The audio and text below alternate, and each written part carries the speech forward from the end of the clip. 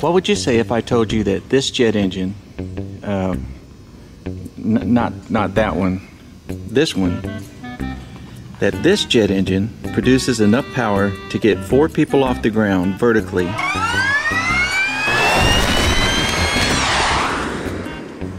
Do you think it's possible? No. No, I'm, I'm serious. You serious? Yeah, I'm serious. Do you think it's theoretically possible?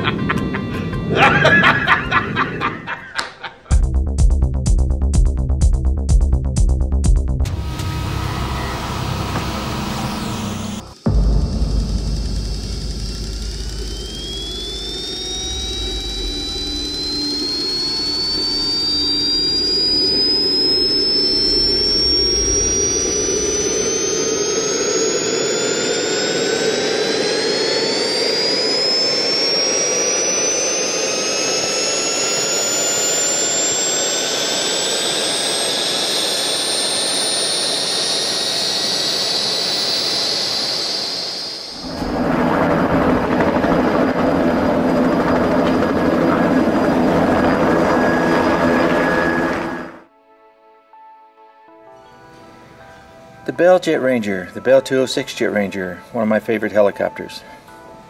In 1971, the 206B had a maximum takeoff weight of 3,200 pounds, and it was powered by a 317 horsepower Allison 250-C20 turboshaft engine.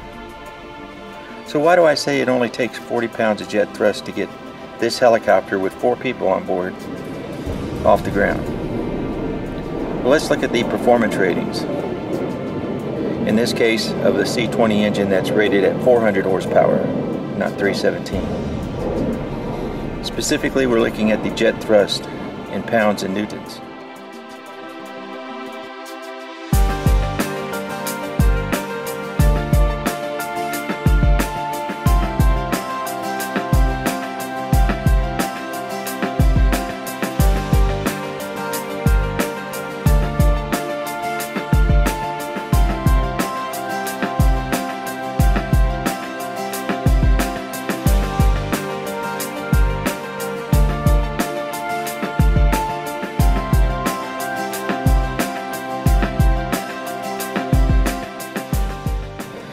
The Allison 250 is split up in two parts.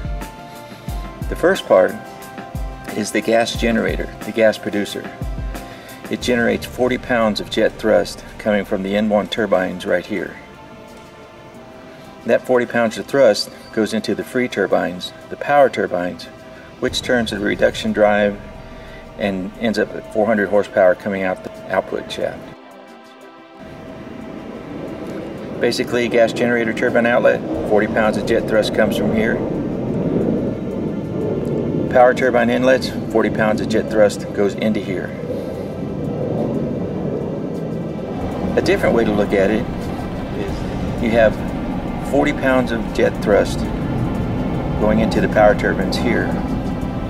And between the uh, power turbines and the reduction drive and the gearbox and the main rotors, this helicopter is producing over 3,200 pounds of lift.